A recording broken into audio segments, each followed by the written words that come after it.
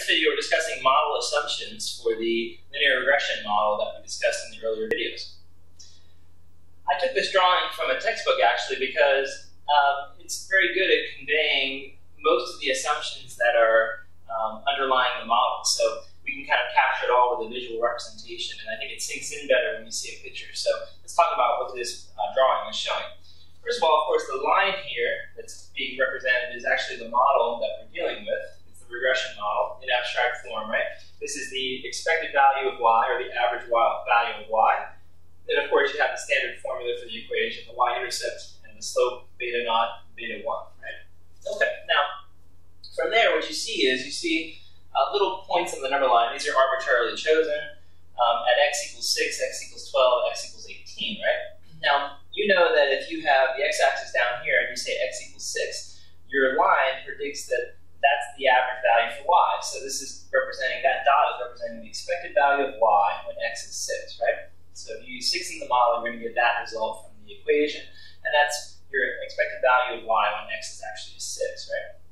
All right, now from there, what you see here is you see a representation of the distribution of the error terms. So remember what the error is, right? The error is the difference between the observed value and the predicted value right? So this is your predicted value, the number on the number line, and then you might have an observed value that's above or below that in some place. What this bell curve is representing is the distribution of those error terms. So essentially, first thing you want to notice is that the mean of the probability distribution of the error term is given by that location right there, which is the spot on our regression line, right?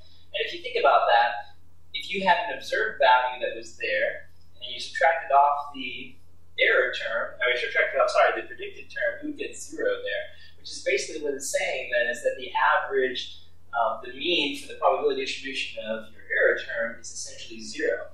Because, of course, you know, the observed value minus the predicted value at that location would be zero. So if that's the average location of the error term, then that means the mean is zero. So we can basically fill this in to say zero is equal to the mean of the probability distribution of the error term. So that's really nice. It means the error terms, they all have a mean of zero. And the other thing about it, of course, is that you can see that it has a bell-shaped distribution, which means that most of your error is going to be around here, but that means that most of your observed values are going to be a little bit above or below your predicted value, right? So in other words, you're not going to expect that you get um, an observed value way up here, right? Because the probability of that would be exceedingly small. In fact, even out to here, it's going to be very unlikely once you pass that point, right? So essentially what we can do at this point is say, well, hey, you know, if this marks like the um, two standard deviations above, two standard deviations below on idea, then we're saying 95% of the observed values would be within this span, right? Which means you could actually say, geez, you know, I can figure out how far I'm likely to see an observed value from our predicted value. And that's really handy to have. That difference or that distance, you know, could be measured in standard deviations. So you could say that's one sigma, that's two sigmas. And what we're going to notice is that each of these bell curves that are represented here, I've tried to draw them as best I could to be the same size. And that means that there's a constant standard deviation for the error term. In other words, the variance for the error term or the standard deviation for the error term is constant, no matter where you are on the x-axis, right? So no matter where you make it, you make a prediction. So let's say you say, I want to know what happens when x is 4. Well, when x is 4, that'd be back here.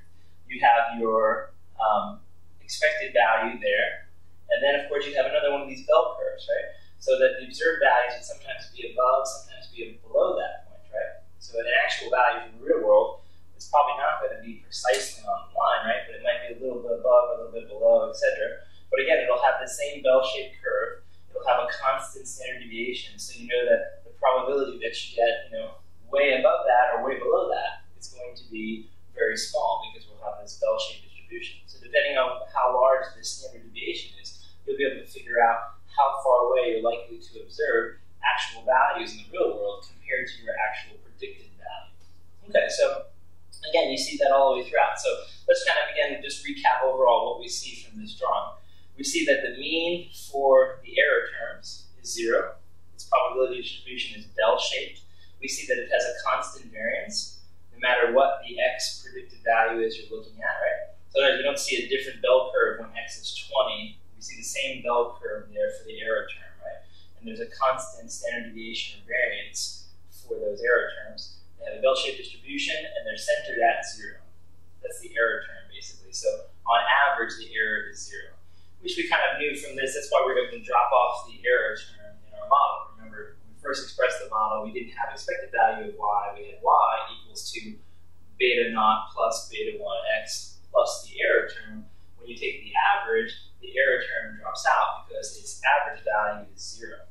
Okay, so that's basically what's conveyed here. The only thing that isn't conveyed here is the notion of um, independence of the error terms. It's kind of hard to see that from the drawing, but um, there's an assumption that you would have spoken, spoken about in your class that each individual error term is independent of another error term for a particular uh, predicted value of x. Okay, so that's essentially it.